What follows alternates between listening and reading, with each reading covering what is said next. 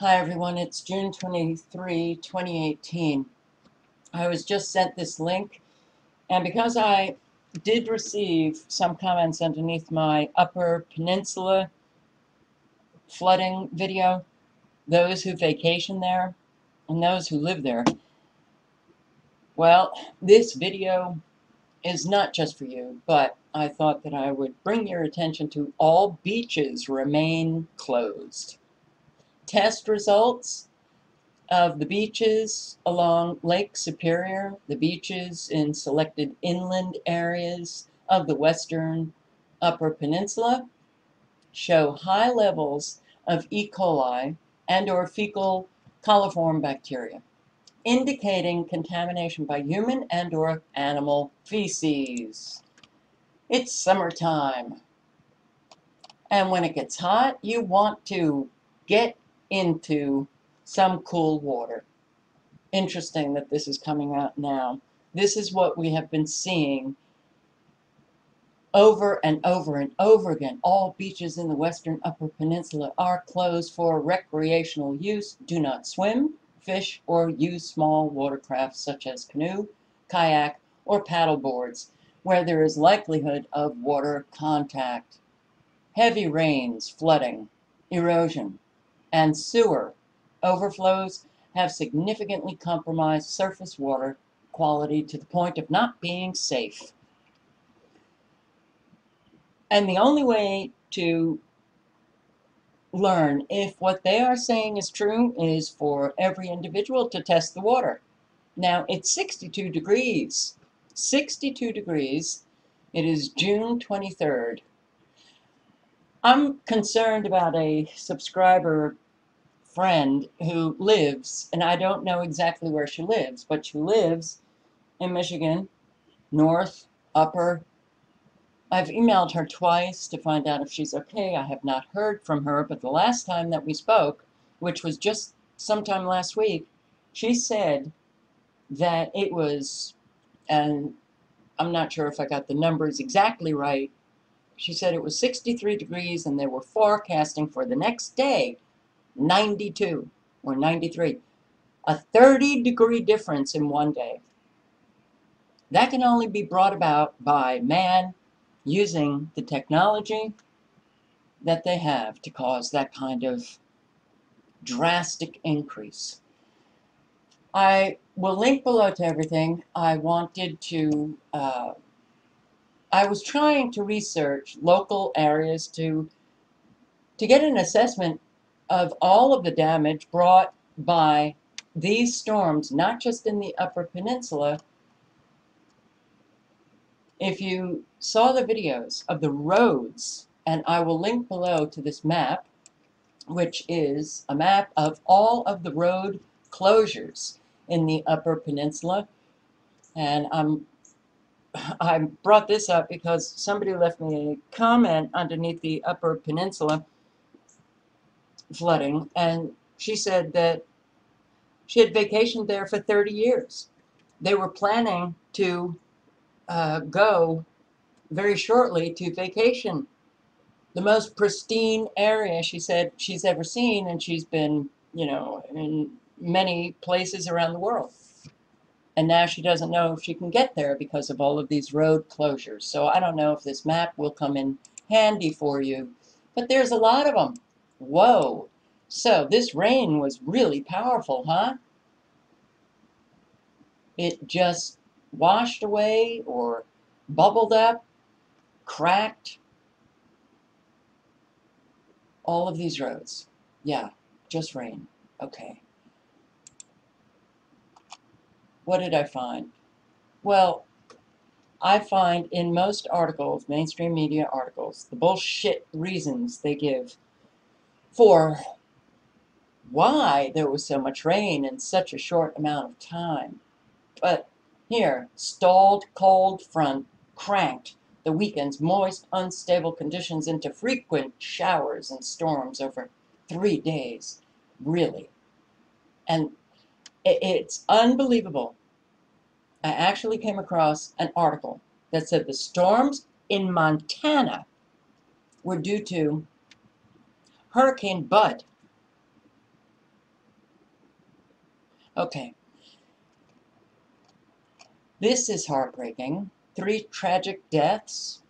A 12 year old boy died from injuries suffered when the basement of his home collapsed during flash flooding in um, Houghton. Houghton, oh God, I'm so bad with pronouncing names. And then when I get someone teaching me and then I can't remember, and yada, yada, yada. A 75 year old man was found dead 60 feet from his pickup truck in a ditch where flood waters reached six to eight feet on the driver's side of the vehicle. A man died when an oak tree blew over onto his camper. What else do we have? Oh, flooded Wisconsin lakes. So your Department of Natural Resources has put out warnings. It's the heavy rains in Wisconsin. Boaters, swimmers, be wary of all of the debris in the flooded lakes and rivers. Take safety measure, measures. Your roads washed away in Wisconsin as well. 363 million gallons of untreated wastewater, a mix of sewage and stormwater, spilled into local rivers and Lake Michigan after heavy rains on June 18, 19. So we have rains that wash away roads, or rains that literally make road surface look like it's been hit by a uh, an earthquake, and we have our sewage plants unable to contain sewage. So it just spills into lakes, rivers, and then you can't use them. Oh, this is nice. Three dozen oil tankers spill in Iowa. Train derailment. A freight train derailed in northwest Iowa on Friday, leaking crude oil from into flooded fields, flanking the tracks and raising concerns about the possible contamination of your water supply downstream. Well, what about your fields? Iowa, aren't you a big corn state? Storms bring high winds, rain to Oklahoma, Arkansas, people without power. A Chinook, you United States Army, and these kids are getting onto it. Why? Campers, bear, escape, Montana flood. As severe wind, uh, weather hits United States. Helicopters rescued people stranded by flooding in Texas and Montana. Texas, you had the remnants of Hurricane Bud, but the remnants moved all the way up to Montana. So 140 children and counselors had to be rescued by the United States Army. Really, getting everybody used to the military protecting them. Storms caused widespread flooding in Washington County, in Pennsylvania, and other areas in Pennsylvania. The storms were really, well, uh, kind of wild. And you read the mainstream media articles, and they talk about the wild weather. What? Who was this kid? Ben Smith, 18. He was sucked into a drain pipe a suburban Pittsburgh teen was sucked into a drainage pipe during a powerful storm that dumped nearly four inches of rain, and he survived it. Well, that is powerful rain. Showers soaked much of U.S. Corn Belt. Much storms, or more storms, sorry, next week. Rain soaked portions of the United States Corn Belt this week, swamping fields in South Dakota, Minnesota, Iowa, and more storms are coming early next week. So, what did they say? Well, before this week's storm, the U.S. Department of Agriculture had rated 78% of the U.S. corn crop and 73% of the soybean crop in good to excellent condition as of June 17. It was among the strongest ratings in recent decades. Oh, but now some analysts are considering whether soil moisture is excessive in some areas. The market right now is trying to figure out if too much water is a good thing or not a good thing. Oh, we can't figure out anything anymore. Our experts, they just can't figure out anything anymore. Don't know. Is it a good thing? Bad thing? Who knows? Well, the really bad thing is whether our crops are in good to excellent condition. These are GMO crops that Americans, that's what you get now. You get toxic food, genetically modified food, soybean, corn, completely taken over by genetic uh, genetic uh, modification. And all you have to do is do some research on these uh, GM foods, and you will find out that they are causing an awful lot of medical problems. Not just for humans, but genetically modified corn. It's all fed to chickens and all, all cows. They come coming down with conditions, who cares? Slaughter them and put it on the market for Americans to eat. And Long Island. Storms could ruin Long Island's first summer weekend. Okay, I'm going to show you just some of the technology that man was using to create all of this havoc. And I want to tell you, the weather modification that is taking place it's killing people, and those who are involved with uh, weather modification, they are murderers, and they should be arrested and jailed. Here you had uh, extremely low frequencies being set off very close to the border of Canada, United States. These frequencies extend for 300 miles. So the frequencies being set off in Canada can affect the United States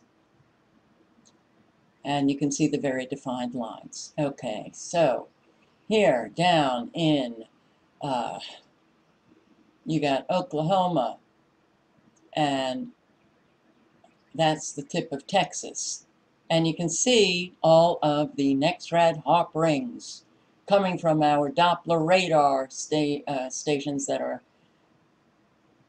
that are high frequency heating high frequency heating with the extremely low frequencies can bring about cyclones, can bring about heavy rains, can bring about massive flooding, can bring about roads crumbling, can bring earthquakes. You see how flatlined that the top of the storm is, signature frequency being used.